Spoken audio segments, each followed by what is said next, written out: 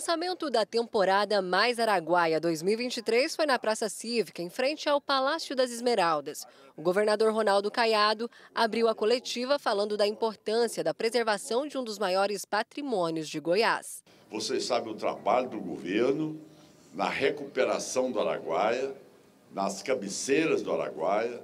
Você sabe a nossa preocupação para a gente resgatar, talvez, aquilo que é mais emblemático para o nosso estado de Goiás, que é a beleza do Rio Araguaia, é o entardecer do Araguaia, são as praias do Araguaia, e nós vamos e vamos continuar trabalhando fortemente para que o Rio Araguaia seja cada vez mais respeitado.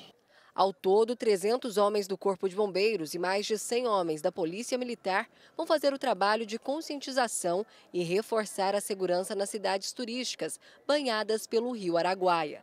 São bases para as equipes do governo Aruanã, São Miguel do Araguaia, o distrito de Luiz Alves, Britânia, Mundo Novo, Nova Crixás, distrito de São José dos Bandeirantes e Aragarças. Os novos postos operacionais têm ali em média são 12, 13 bombeiros, né, fazendo serviço diário, onde existe um serviço preventivo realmente ali, entrega de folders, explicando né, para o turista que ele não está num ambiente de clube, né, ele tem água, mas ele está dentro de um ambiente de rio, ou seja, é um ambiente que ele tem algumas peculiaridades. E nós orientamos bem essas peculiaridades dentro do rio, navegação, questão de gestão de bebida alcoólica e, e pilotar embarcações, colete salva-vida, que é o, é o cinto de segurança da água. Segundo o governo do estado, foram investidos 14 milhões de reais em ações e serviços. E além de muita diversão e segurança, também já estão sendo oferecidos cursos de qualificação, vagas de emprego e consultoria a micro e pequenos empreendedores pela Secretaria da Retomada.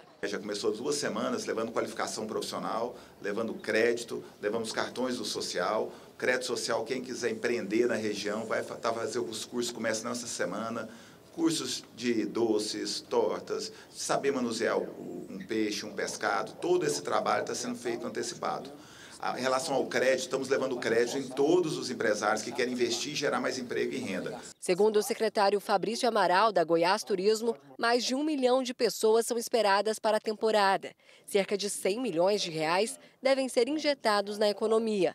Ele ressaltou a importância do trabalho conjunto entre as secretarias para proporcionar a melhor experiência ao turista. Nós nos perguntamos como é que a família chegaria no Araguaia bem, curtiria o mês de julho principalmente e voltaria bem. Então todo esse trabalho de Estado é para as famílias, é para os goianos, a gente tem muito orgulho de trabalhar e apoiar isso. A prefeita de São Miguel do Araguaia disse que os hotéis já estão quase em sua capacidade máxima. A cidade vai receber a segunda edição de um rally internacional de pesca esportiva durante a temporada desse ano. Ajuda a movimentar a economia, né? cria divisas econômicas. É uma época muito esperada para São Miguel do Araguaia e para Luiz Alves, porque realmente a gente vê assim, a satisfação ah, nos nossos empresários, nos comerciantes que aguardam esse momento especial